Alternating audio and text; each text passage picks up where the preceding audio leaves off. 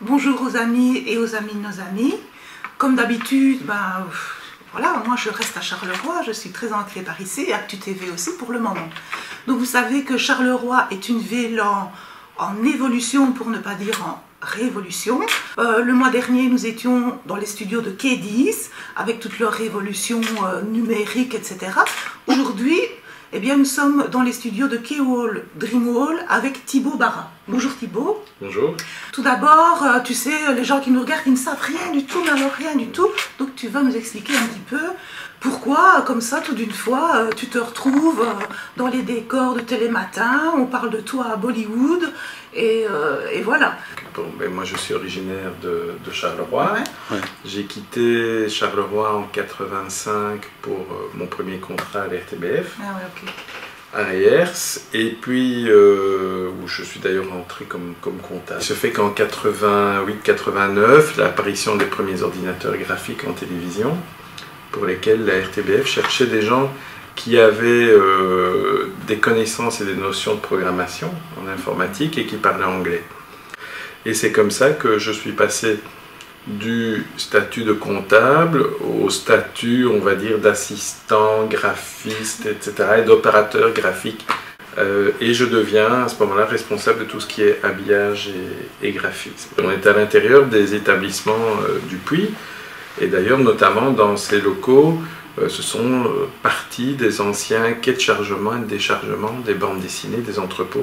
Les éditions du Puy se reposaient la question en disant tiens, voilà, euh, actuellement, toutes nos animations de production audiovisuelle se font en Asie, tout était délocalisé en Asie, et il n'y avait plus de studio d'animation en Belgique. Et donc, à un moment, quelqu'un se dit ah, mais on a une cellule. Graphique euh, à la RTBF avec euh, des gens euh, un peu un peu passionnés et, et des gens qui ont certaines compétences dont tu faisais partie. dont je faisais pas j'étais le directeur à ce moment-là et euh, donc on s'est rencontrés et c'est comme ça qu'ont eu lieu les, les premiers échanges à propos du fait de recréer un studio d'animation dans la partie euh, wallonne du pays. Et quand on parle de Dreamwall, je pense Astérix, je pense. Absolument. Voilà. Et, mais en fait, ça a été votre premier boulot, c'est ça, vous? Alors, En euh, plus des génériques et compagnie. Alors, l'animation euh, constitue, on va dire, la, la partie la plus importante de l'activité Ouais. en matière de, de chiffre d'affaires. On tourne euh, à peu près à entre 7-8 millions d'euros de chiffre d'affaires. Et euh, là-dessus, il y en a 5 qui sont générés par, euh, par l'animation. Là, vous vous êtes vraiment imposé. hein. On s'est dit, ce sont des gens sérieux, Voilà, on peut y aller. ça. Je veux dire, au départ, ça. Dreamwall, c'était de l'investissement. Donc ça rapportait Oui. rien. Absolument. Et puis, à partir de quand est-ce que c'est devenu de rentable? En 2012, on a procédé à une augmentation de capital. C'est à ce moment-là que sont rentrés en capital, dont notamment Wallimage Entreprise et Sambre Invest. Euh, et donc, on va dire, il nous a fallu à peu près euh, entre 4 et 5 ans, effectivement, pour arriver à maturité. Est-ce qu'on ne devrait pas insister sur le fait, parce que moi c'est ce qui m'interpelle, c'est qu'encore une fois, c'est une, c'est une aventure qui explose et qui démarre au départ d'une petite cellule avec des gens passionnés, des gens qui y croient et à mon avis entourés d'autres qui se disent que ces gens n'arriveront nulle part. Effectivement, quand, quand on se retourne et qu'on regarde Mhm. un petit peu qui s'est passé, ça a été effectivement, comme je le disais, laborieux et pénible euh, pendant les cinq premières années. Mais rapidement, en, en- en même- moins de dix ans. Oui, bon, euh, ben, si vous jugez que euh, ça a été rapide, Eh oui, bien euh, moi, sûr. voilà, oui. Rien ne se fait tout. Non. Ouais. Un club de foot, il lui faut 30 ans pour se Ouais, faire non, mais connaître. D'accord, mais voilà, euh, pour nous, voilà, ça a été. euh, Ça a été dur. Ça a été dur. Si on prend une, euh, une série, une production comme Boule et Bill, euh, la production d'une série de 52 épisodes de 13 minutes, ça représente à peu près 11 heures de programme, euh, coûte au producteur l'équivalent à peu près de 6 millions d'euros. 8 secondes, aux alentours de 8-10 secondes d'animation par jour par animateur. Ça, ce sont les quotas de productivité qui sont attendus de manière à pouvoir respecter notre engagement euh, budgétaire par rapport au producteur. À côté de ça, en long métrage, Si on prend le cas d'Astérix, euh, le budget, bon, celui-là était un peu en dehors du 38 millions d'euros. Euh, et là est attendue une productivité des animateurs qui était de 3 secondes par semaine. voilà, donc ça, ça donne un petit peu l'échelle pour 80 minutes d'animation.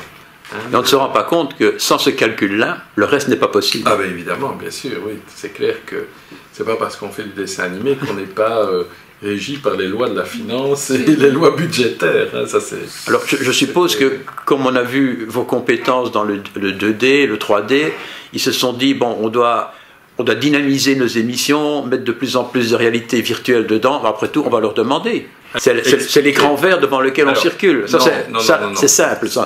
Non, non, ça c'est trop. Oui, simpliste. Voilà. Donc effectivement, on a besoin dans un studio virtuel d'un écran vert, bien sûr, hmm. mais euh, pas seulement. Et la partie technologique du studio virtuel vient du fait que euh, lorsque l'on va bouger, si vous regardez la plupart des émissions, on va prendre la météo par exemple. Voilà, exact. Donc un, un green key, si on prend une météo sur les chaînes françaises, on va remarquer que le cadre ne bouge pas. Le cadre est fixe. Exact. Donc c'est un seul plan au sein duquel se promène ou pas euh, une présentatrice ou un présentateur météo mhm. et qui vient montrer des animations qui ont lieu sur une, carte où on a remplacé le fond vert par une image. Alors la différence avec le studio virtuel et juste le Green Key, c'est que si vous regardez la RTB euh, ou toutes les météos que nous faisons pour nos différents euh, clients, lorsqu'on va bouger la caméra, le décor est recalculé en temps réel. Oui, comme dans les, trucs d'architecture, quoi. Oui. Comme dans les programmes, comme dans le 4cam. Oui, si ce n'est qu'ici, on est en télévision et que le décor doit être calculé en temps réel selon les normes et les contraintes, évidemment, de, des, milliers de gigas, audiovisuelle. Qui va fait tourner le studio. Qui va faire correspondre, effectivement, la caméra virtuelle à l'intérieur de la scène 3D avec la caméra réelle. Donc, euh, les studios virtuels, soit euh, ils peuvent être utilisés pour des raisons économiques. Si on prend ici, quand on visitera Keywall, on, est capable, par exemple, de tourner trois émissions différentes dans des décors différents la même journée. Ben oui. Alors qu'avant, dans un studio traditionnel, il fallait... Ou trois studios, ou démonter, remonter. Voilà, et donc on faisait trois émissions différentes en une semaine. J'ai lu un texte que je trouve très intéressant, qui dit, parce que je trouve qu'il résume bien, enfin, si j'ai bien compris, euh, un producteur veut enregistrer une émission, il arrive le matin, tourne son émission dans le studio chez Keywall. Nous lui proposons de réaliser le montage, le mixage, l'habillage. Il peut incorporer des effets spéciaux chez Dreamwall, à côté. En fin de journée, on simplifie, hein, il repart avec son produit fini sur un disque dur. Donc en fait, vous faites non pas le contenu, mais le contenant. Vous n'avez jamais, vous, lancé des émissions avec l'idée d'une nouvelle émission, par exemple Alors, ça arrive. C'est la question que je me pose. Oui, absolument. Ça, ça, arrive. Et donc, de plus en plus, effectivement, on approche. On, a va, on va créer une troisième section. On a, oui, on aurait bien envie de temps en temps de créer une section. J'y ai pensé tout de suite, comme les Hollandais le font avec tous les jeux, etc. Voilà, exact. Donc l'avenir, ce seront des grandes productions d'émissions faites par ah, euh... Carol, Carol Howard alors, euh, mais aussi du, tournage chez Kiwell, etc. Donc voilà, donc on, a maintenant les deux activités, on sait exactement ce qu'il en est. Euh, et l'événement marquant de ce début d'année, c'est effectivement le fait d'avoir remporté l'appel d'offres de France Télévisions. Pour les élections. Pour euh, assurer effectivement les, les, élections présidentielles et législatives. Donc je suis revenu de Paris hier et je retourne après-demain pour le dernier tour des élections législatives, où euh, France Télévisions nous a confié la, la, réalisation, on va dire, de ses intentions scénaristiques en studio virtuel et réalité augmentée pour les quatre, les quatre soirées. Et donc, bah oui, effectivement, alors on va dire Cocorico, bon, c'est l'emblème de la Wallonie, c'est un coq, et bon, la France aussi. Un coq ardent. Oui, mais bon, voilà. Il a ça.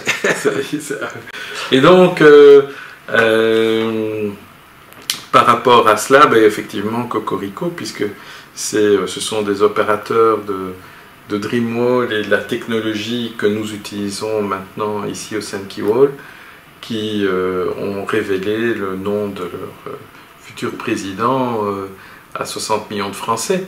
Donc, donc voilà, et pour le moment, c'est vrai que ça a été, si on prend en animation l'effet qu'a eu Astérix sur l'animation de chez Dreamwall, les élections françaises ont le même effet sur Keywall. Sur Keywall et une partie effectivement de Dreamwall. Après, qu'on appelle qu'on m'appelle Dreamwall ou Keywall, en gros, l'important c'est que ça se passe ici.